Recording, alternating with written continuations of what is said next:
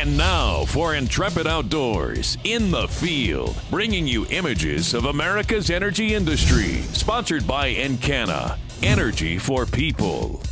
Gas and oil development versus wildlife certainly spurs a lot of debate.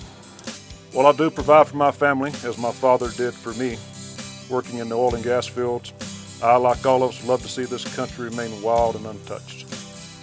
However, as an American patriot and a former U.S. Marine, I know that our country has to have as much energy dependence as practical. Responsible development, as practiced by the operators in this region, are the right answer for providing for our country's needs while minimizing impact to local wildlife. One example is reclamation that occurs after a pipeline is laid in or a well pad is abandoned. Government agencies, uh, with the authority over the area these operators are working in, most oftentimes provide a list of the seeds that they need to plant to reclaim the area. These seeds of grass, forbs, and shrubs provide not only stability for the soil, but cover, protection, and food for all the wildlife in the area.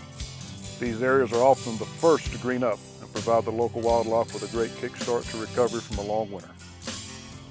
I'm Warren Hatcher, outdoorsman, proud American, and energy producer.